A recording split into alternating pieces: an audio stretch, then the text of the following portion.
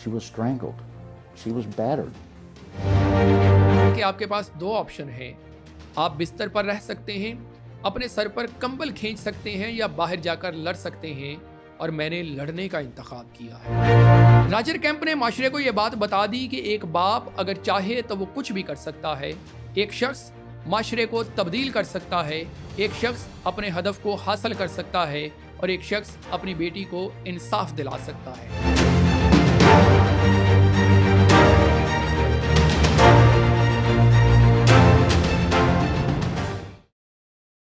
ये कहानी है सन 2002 की। कंसास यूएसए में एक 19 साल लड़की अलेक्जेंड्रा कैंप रहती थी। जब उसे गर्मियों की छुट्टियाँ हुई तो वो आउटडोर स्विमिंग पूल में काम करती थी। इसी स्विमिंग पूल पे उसका भाई भी काम करता था, लेकिन इन दोनों की शिफ्टें मुख्तलिफ़ थी। एक दिन जब उसका भाई काम पर गया तो उसे अपनी बहन वहाँ पर ना मिली। उसके भाई ने अपने वालद को फ़ोन किया कि अलेक्जेंड्रा यहाँ स्विमिंग पूल पर मौजूद नहीं है। सवाल पैदा हो गया कि अलेक्जेंड्रा के साथ आखिर क्या हुआ था? अलेक्जेंड्रा एलिजबेथ कैंप 11 अक्टूबर 1982 को कंसास और मसूरी की सरहद पर वाक़ लियोवुड में पैदा हुई। वो अपने बहन भाइयों में सबसे बड़ी थी और अपने वालदेन की इकलौती बेटी थी। अलेक्जेंड्रा ने हाई स्कूल एजाज के साथ पास किया और उसके बाद उसने अपनी ग्रेजुएशन मुकम्मल की। कैंसास स्टेट यूनिवर्सिटी में दाखिला लिया। अलेक्जेंड्रा का टारगेट था कि उसने वर्ल्ड टूर पर जाना है और उसके हवाले से वो कई मंसूबे बना चुकी थी। 2002 में यूनिवर्सिटी का पहला साल मुकम्मल करने के बाद वो गर्मियों की छुट्टियाँ गुजारने के लिए लियोवुड वापस गई। इसके वालदेन के घर के करीब ही एक आउटडोर स्विमिंग पूल था। इसका छोटा भाई टेलर वहाँ काम करता था। अलेक्जेंड्रा ने भी सोचा कि वो कुछ पैसे कमाए और उसने वहाँ पर पार्ट टाइम जॉब कर ली। ये स्विमिंग पूल कोई बहुत मसरूफ जगह नहीं थी। ये पुल बुनियादी तौर पर उन लोगों के लिए था जो करीब करीब के इलाकों में रहते थे। ये पुल आज भी वहाँ पर मौजूद है। 18 जून 2002 को अलेक्जेंड्रा काम पर थी, आसमान पर बादल छाए हुए थे, इसलिए मामूल से कम लोग पुल पर मौजूद थे।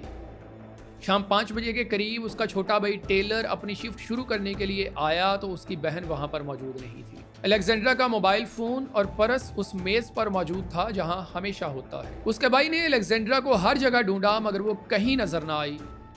उसने परेशान होकर अपने वालदेन को फ़ोन किया और कहा कि अलेक्जेंड्रा गायब हो चुकी है। अलेक्जेंड्रा के वालद का नाम राजर कैंप था। वो फौरी तौर पर स्विमिंग पूल की जगह पर पहुँचा। सबसे उसने उसने पूल में नज़र डाली उसके ख्याल में ऐसा था कि शायद अलेक्जेंड्रा पूल में कहीं गिर गई हो और वहाँ मौजूद हो, मगर पूल खाली था।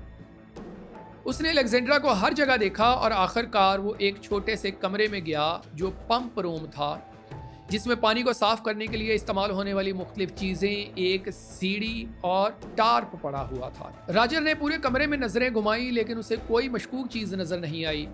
फिर उसने अचानक देखा कि टार्प के नीचे एक टांग थी। वो भागा, उसने टार्प उठाया और उसने देखा कि वहाँ पर राजर की बेटी अलेक्जेंड्रा मौजूद थी। अलेक्जेंड्रा के जिस्म के नीचे वाले हिस्से पे बिल्कुल कोई लिबास नहीं था और वो बिल्कुल उरियाँ थी। इसके चेहरे और जिस्म पर बहुत से जख्म थे। वो अपनी आखिरी साँसें ले रही थी। राजर ने फौरी तौर पर 911 पर कॉल की। ऑपरेटर से बात करते हुए वो रो पड़ा कि किसी तरह से उसकी अलेक्जेंड्रा को बचा लिया जाए। जब एंबुलेंस पहुँची तो राजर अपनी बेटी पर सीपीआर कर रहा था। फौरी तौर पे अलेक्जेंड्रा को हस्पताल पहुँचाया गया, मगर इन तमाम तर कोशिशों के बावजूद अलेक्जेंड्रा ज़िंदा ना बच सकी और हस्पताल पहुँचते ही उसे मुर्दा करार दे दिया। कई शदीद जख्मों के बावजूद अलेक्जेंड्रा की मौत का सबब गला दबाना था। गोया उसको गला दबाकर कत्ल किया गया था।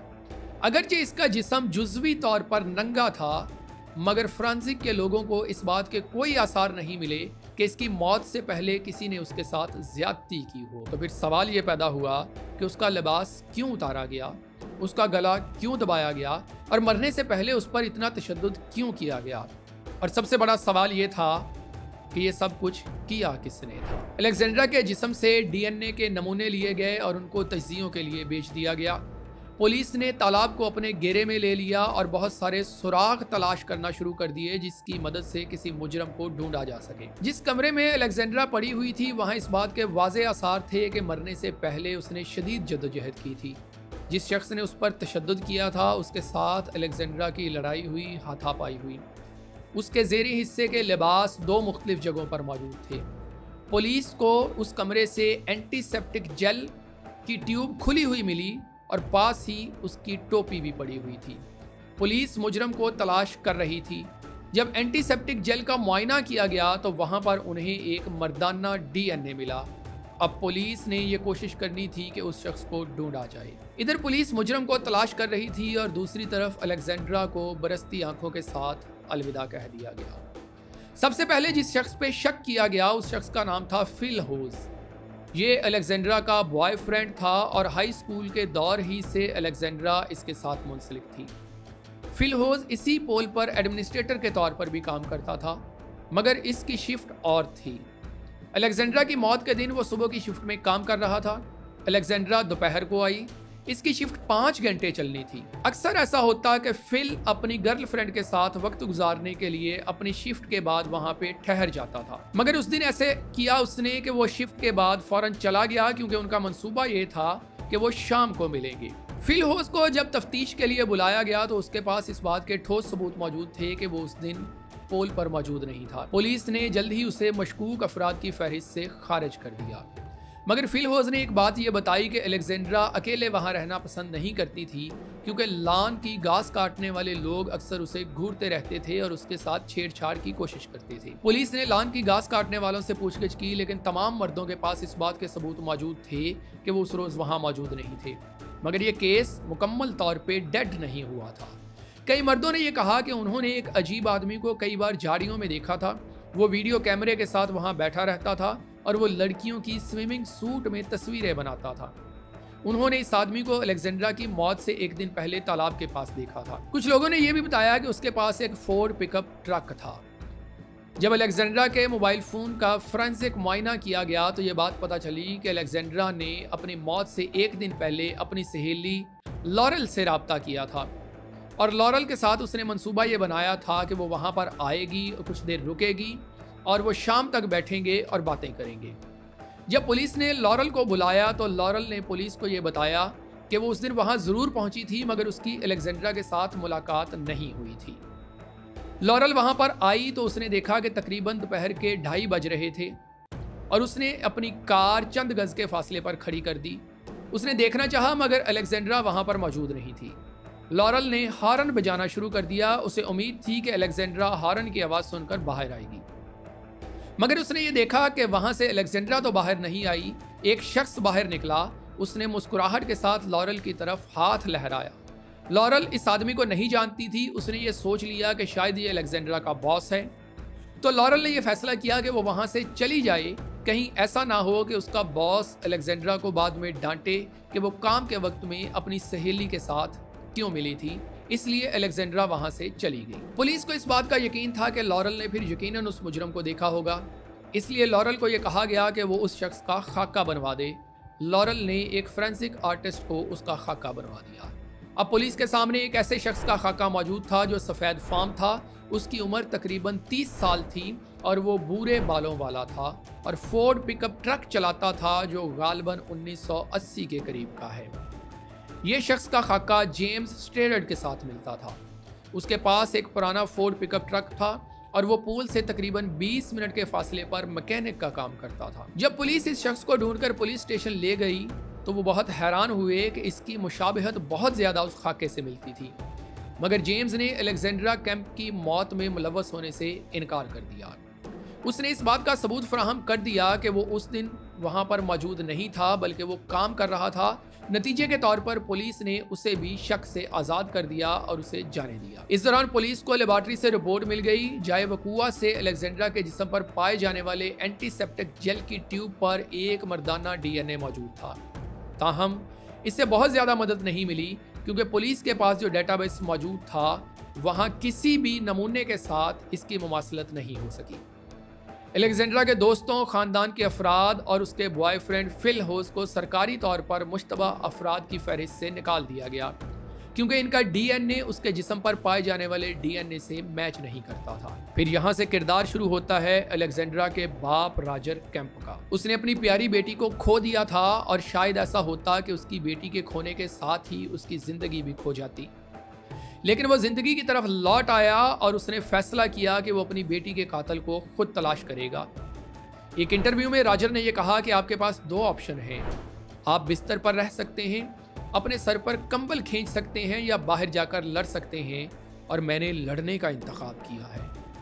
महकमा पुलिस राजर के हौसले और उसके जोश से इस कदर मुतासर हुआ कि पुलिस स्टेशन में उन्होंने राजर को जगह दे दी और वो तमाम मालूम जो पुलिस के पास थी, उन्होंने राजर के साथ शेयर की और तमाम सुराग उसे दे दिए। राजर ने पुलिस के साथ मिलकर अमेरिका मोस्ट वांटेड प्रोग्राम के प्रोड्यूसर से रबता किया।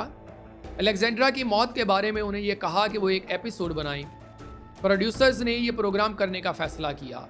और ये प्रोग्राम इस कदर मशहूर हुआ कि एक मौका पर यह टेलीविज़न पर चलने वाला सबसे तवील प्रोग्राम था और इसके 24 सीज़न बनाए गए। ये काम हुकूमत नहीं कर सकती थी, पुलिस नहीं कर सकती थी, मगर एक बाप कर सकता था। अलेक्जेंड्रा की कहानी नशर होने के बाद पुलिस को मालूम के साथ सैकड़ों कॉल्स मसूल होने लगी। किसी ने कहा कि उसने कातल को देखा है, किसी ने कहा कातल फला जगह रहता है। हर वो शख्स जिसके बारे में पुलिस को कॉल मिली, उससे तफ्तीश की गई। इसके डीएनए का मैच लिया गया। पुलिस ने तमाम सुरागों को चेक किया, जिनमें से कोई भी पेशरफ्त हो सकती थी, मगर कोई पेशरफ्त ना हो सकी। फरवरी 2003 में अलेक्जेंड्रा की मौत के आठ महीने बाद एक नया मामला खुला, जिससे ये पता चला कि शायद कोई ठोस शवाहिद मिल चुके हैं। पुलिस ने उटा में एक शख्स को गिरफ़्तार किया, जिसके बारे में कई मालूम मिल चुकी थी। इस शख्स पर इल्ज़ाम था कि इसने दो खातन और एक चौदह साल लड़की पर रेप की अटेम्प्ट की है। पुलिस ने उटा में जब उसे गिरफ़्तार करने की कोशिश की तो वो भाग गया, लेकिन उसके कुछ ही दिन बाद उसे गिरफ़्तार कर लिया गया। हैरान कन तौर पर यह शख्स जेम्स ट्रेडर ही था, जिससे कैंसास में पुलिस पहले ही तफ्तीश कर चुकी थी। स्ट्रेडर के चेहरे की खसूसियात उस मशकूक शख्स के खाके से मिलती थी जो खाका लॉरल ने बनवाया था। इससे पहले जब स्टेडर्ट से तफ्तीश की गई थी तो उसका डीएनए नहीं लिया गया था, क्योंकि इसकी तस्वीर उस शख्स से बहुत मिलती थी, जिसका खाका बनवाया गया था। लेकिन उसने दावा तो किया था कि वो पूल पर नहीं गया था।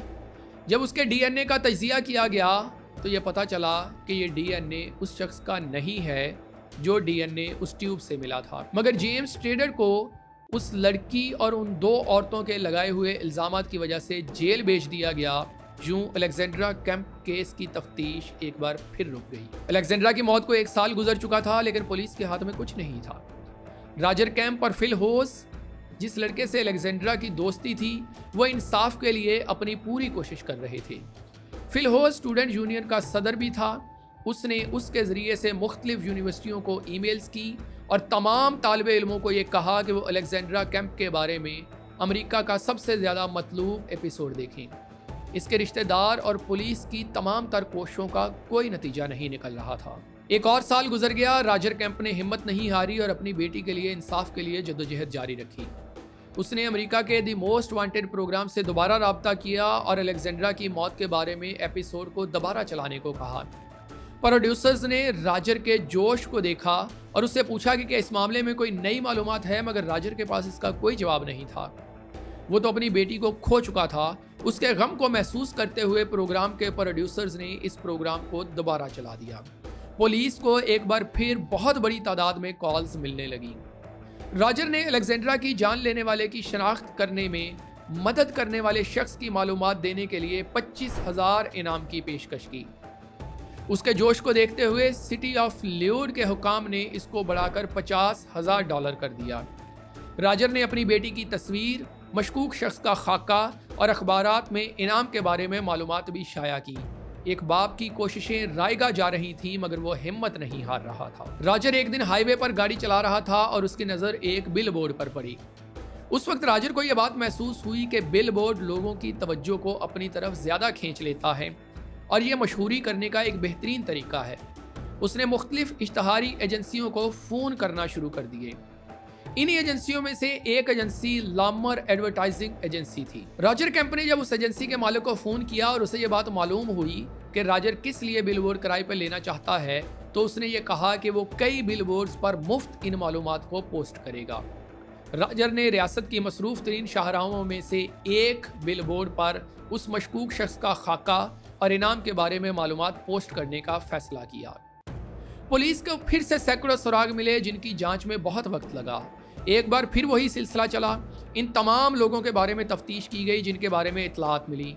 पुलिस शायद इस अमल से थक जाती, मगर एक बाप था जो नहीं थक रहा था। एक बाप जिसने लड़ने का फैसला किया था और वो लड़ रहा था और उसके जज्बे को देखकर हर कोई उसका साथ दे रहा था। इसी वक्त मुख्तलिफ़ जराए से एक ही आदमी के बारे में कई मालूम मिली। ये मालूम थी एक पुराने फोर्ड पिकअप ट्रक चलाने वाले शख्स के बारे में। इस शख्स का नाम था टेडी हुवर ये शख्स पूल की देखभाल में काम करता था और मशकूक शख्स के खाके से मिलता जुलता नज़र आता था।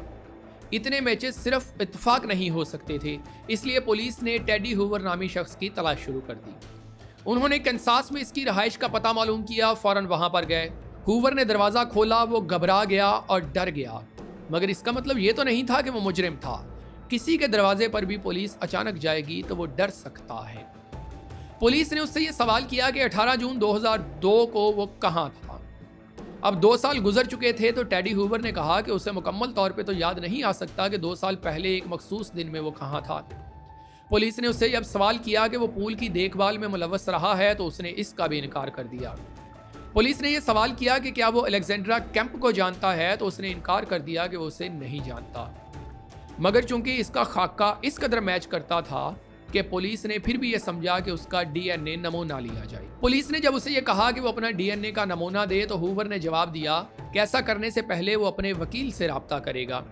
उन्होंने उसे इजाज़त दे दी कि वो अपने वकील से रबता करे और उसका वकील पुलिस को कॉल करेगा। एक दिन बाद हुवर के वकील ने पुलिस से रबता किया और कहा कि इसका मौकल इस बात पर परेशान है कि अगर वो अपने डीएनए का नमूना देगा तो पुलिस उसके डीएनए को डेटाबेस के रिकॉर्ड में डाल देगी। और बाद में हमेशा इसका रिकॉर्ड चेक किया जाएगा जो उसे पसंद नहीं। और टेडी हुवर ये समझता है कि इसका डीएनए लेकर बाद में उसे किसी भी केस में फंसाया जा सकता है। पुलिस ने वादा किया कि वो होवर के डीएनए को किसी भी डाटाबेस में नहीं डालेगी। वो सिर्फ़ ये चेक करेंगे कि अलेक्जेंड्रा कैंप के जिसम पर पाए जाने वाले डीएनए से उसका डीएनए मैच करता है या नहीं करता। वकील ने कहा कि वो कल टेडी होवर से बात करके वापस कॉल करेगा।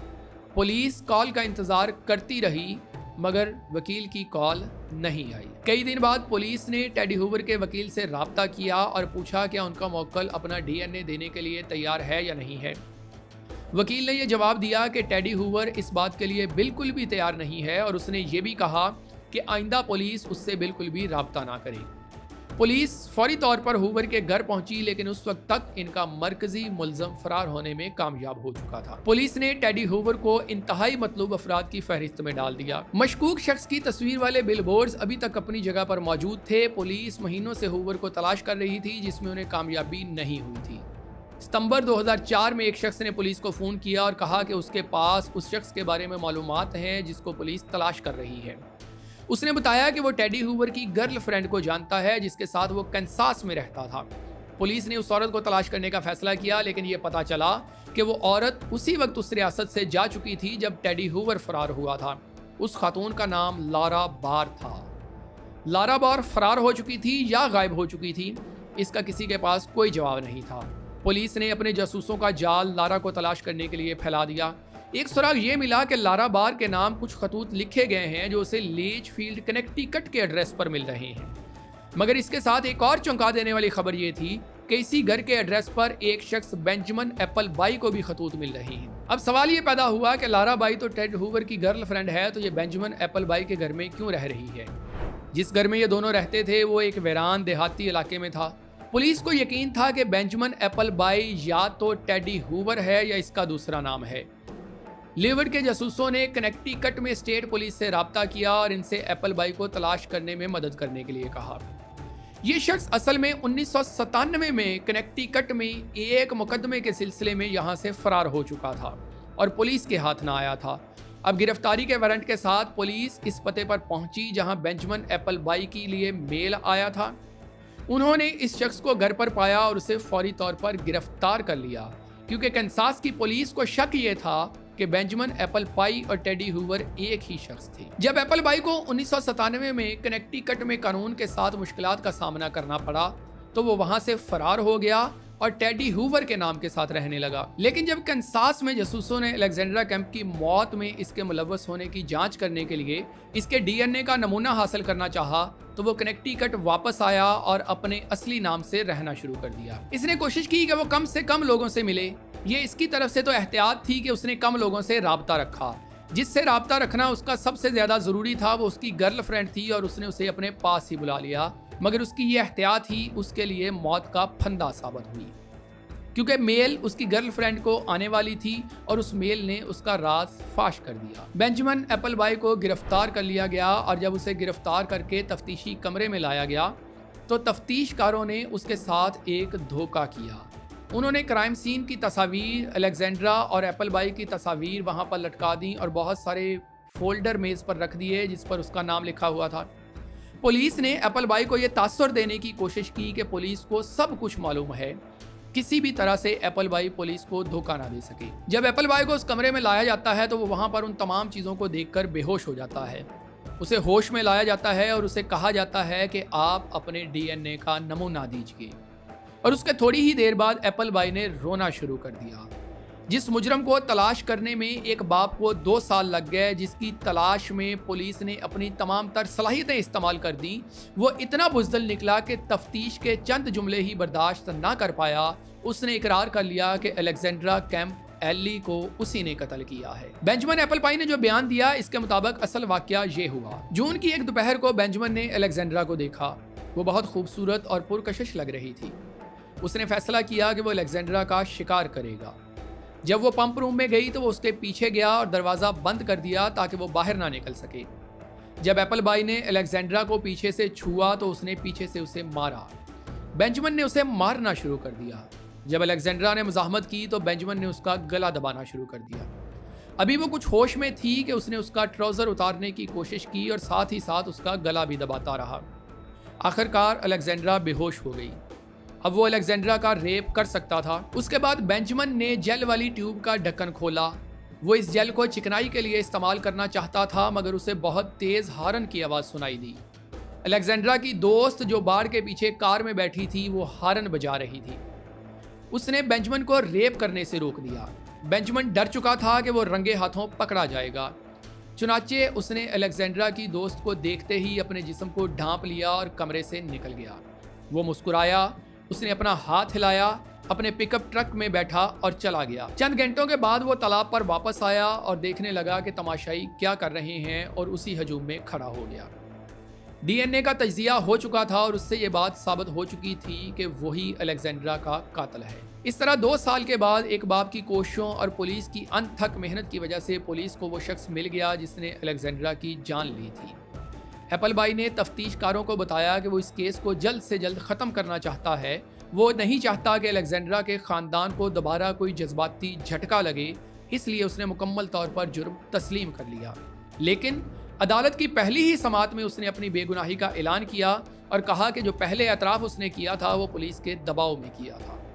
मगर डीएनए का तजिया हो चुका था, इसलिए अब वो अपने जुर्म से इनकार नहीं कर सकता था। बेंजमन एप्पल पाई के वकील ने अदालत को कायल करने की कोशिश की कि उसका अलेक्जेंड्रा की जान लेने का इरादा बिल्कुल नहीं था।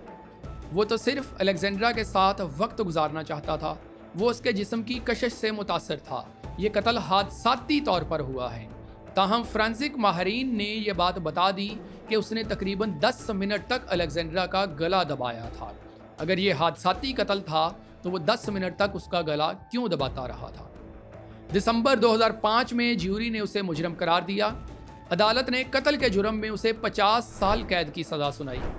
इसके साथ साथ उसे ज़बरदस्ती करने के जुर्म में 19 साल कैद की सज़ा सुनाई, जो उसकी कुल सज़ा उनहत्तर साल थी। अदालत ने उसे ये कहा कि वो एक रहम की अपील दायर कर सकता है, मगर वो 50 साल बाद ये रहम की अपील दायर कर सकता है। फिर उस वक्त की अदालत चाहे तो उसकी 19 साल वाली सज़ा माफ़ कर सकती है, मगर उसे पहले 50 साल जेल ही में रहना है। अगर वो 50 साल बाद अपील दायर भी करता तो उस वक्त उसकी उम्र इक्यासी साल होती। जब बेंजमन एप्पल पाई को सज़ा हो गई तो राजर और उसकी बीवी ने लड़कियों के लिए एक सेल्फ डिफेंस क्लास बनाई, जिसमें मुल्क भर की हज़ारों लड़कियों को सेल्फ डिफेंस की बुनियादी तकनीक सिखाई गई। Hi, I'm Roger Kemp of Take Defense, and you've got to know how to defend yourself. We called it Take Defense. In our Take Defense program, we use reality based training, and we bring up so many things that people don't think about. Roger की तहकीकात में इस्तकामत और माशरे के फ़ायदे के लिए इसकी कोशिशों पर बहुत ज़्यादा तवज्जो दी गई बराक ओबामा ने उन्हें व्हाइट हाउस में सदारती शहरी तमगा दिया राजर कैंप का इंतकाल यकम मार्च 2022 को 77 साल की उम्र में हुआ Leewood anti-crime advocate Roger Kemp has died. Kemp's daughter, Allie, was killed in 2002. Kemp led a billboard campaign that resulted in a tip to police and a conviction in his daughter's case. He started the Allie Kemp Foundation, which, hold, which holds self-defense classes. The program has trained 70,000 girls and women across the U.S. Kemp was awarded the President's Citizen Medal in 2011. Instead of flowers, people can donate to the foundation. अपनी ज़िंदगी के आखिरी दिन तक वो अपनी बेटी के नाम से मंसूब एक फाउंडेशन में काम करता रहा है। उसने कोशिशें की और वो कोशिशें कामयाब रहीं। राजर कैंप ने माशरे को ये बात बता दी कि एक बाप अगर चाहे तो वो कुछ भी कर सकता है। एक शख्स माशरे को तब्दील कर सकता है। एक शख्स अपने हदफ को हासिल कर सकता है।